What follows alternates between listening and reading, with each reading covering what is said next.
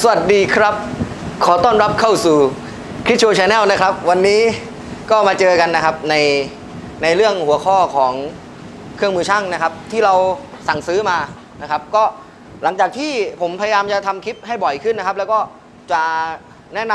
ำอ่าเดี๋ยวจะมีตู้เชื่อมมีอะไรมาแนะนำกันด้วยนะครับ แล้วก็มีอุปกรณ์งานเชื่อมเล็กๆน้อยๆนะครับ แนะนำกันไปเรื่อย ๆ แล้วก็มาพูดคุยเรื่องสาระงานช่างกันนะครับ วันนี้พอดีว่าผมได้ไปสั่งซื้อนะครับมาจาก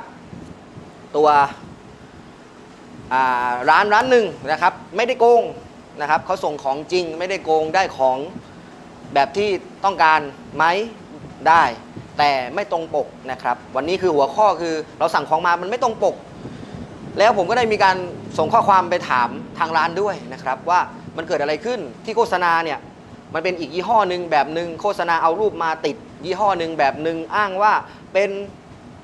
ดอกเจียคาบายนะครับ ดอกเจียคาบายแบบที่เห็นตรงนี้นะครับอะกล้องตัวนี้เห็นนะครับ เป็นดอกเจียคาบายกลมๆ จะเป็นเหล็กนะครับ มีส่วนผสมของคาบายที่ทำให้มันแข็งกว่าเหล็ก และสามารถเจียได้ ซึ่งปกตินะครับ เราอาจจะคุ้นเคยที่มันเป็นหิน เป็นหินอย่างนี้นะครับ ก็ใช้ได้เหมือนกัน แล้วก็จะมีคาบายตัวนี้ ซึ่งปกติเนี่ยดอกหนึ่งก็จะมัน300 กว่าบาท 400 บาท 200 กว่าบาทก็มี ตัวนี้นะครับผมก็เห็นว่า เออเขาโฆษณาว่าของแท้ของใหม่ 100%แกน 6 มิลปลาย 9.5 มิลนะครับ ราคาโปรโมชั่นพิเศษเฉพาะเพจนี้เท่านั้น เหลือดอกละ 150 บาทนะครับ เหลือดอกละ 150 บาท มีให้ 4 ดอก แบบละ 2 ดอก เป็นหัวแหลมกับหัวทู่ที่เห็นนะครับ ตามรูปที่เราขึ้นให้ดู โอเคครับ ปรากฏว่าโอเค โอนอเก็บเงินปลายทางเรียบร้อย จ่ายเงินเรียบร้อย เปิดออกมานะครับ สิ่งที่ได้มาเป็นแบบนี้ครับ เป็นแบบนี้นะครับ เป็นแบบนี้ไม่ตรงปก หมายความว่ายี่ห้อไม่ตรงนะครับ ยี่ห้อไม่ตรงที่โฆษณาไว้นะครับไม่มีโลโก้ฉลากที่เหมือนกัน แต่ได้ของตรงไหมได้ของตรง แต่ยี่ห้อไม่ตรงนะครับ เป็นลักษณะดอกปลายแหลมเหมือนกัน มีหัวทู่เหมือนกัน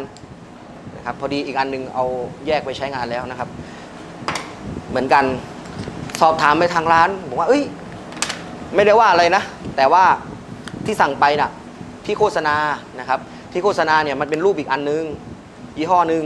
แต่ได้มายี่ยี่ห้อรูปไม่ตรงนะครับ ซึ่งที่โฆษณาเนี่ยบนก้านของดอกนะครับ บนก้านของดอกมันมีสลักเลเซอร์มาด้วยว่า เป็นยี่ห้อนี้รุ่นอะไรรหัสอะไร แต่นนี้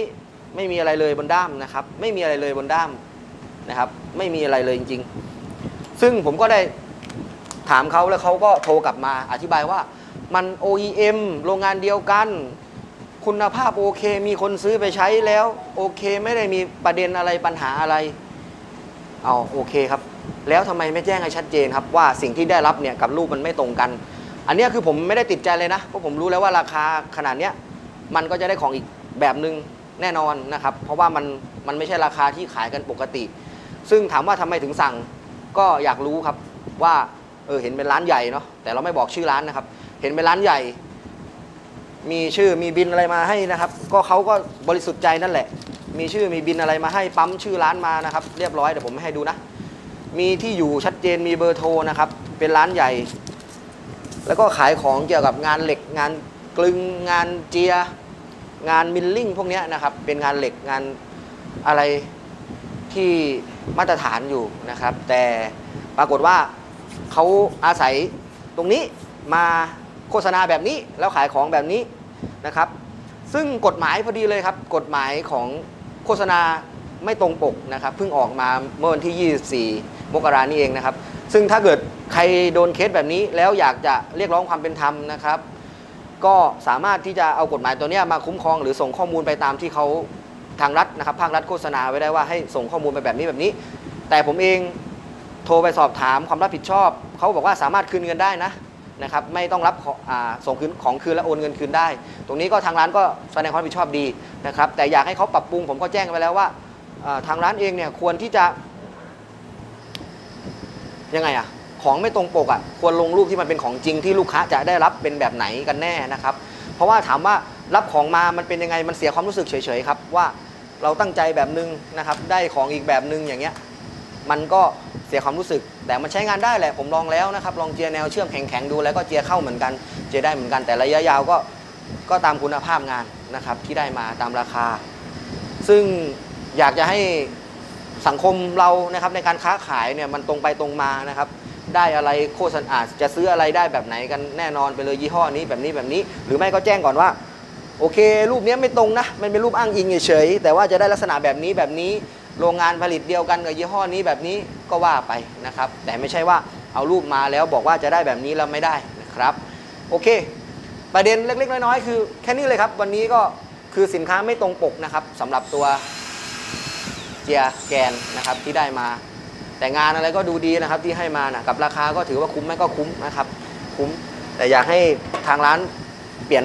รูปที่โฆษณานิดนึงนะครับ โอเค ยังไงวันนี้นะครับอาจจะมีสาระมากน้อยยังไง ก็ฝากเพื่อนๆนะครับ ใครชอบก็ฝากกดติดตามทางช่องไว้ด้วยนะครับ แล้วก็ถ้าเกิดใคร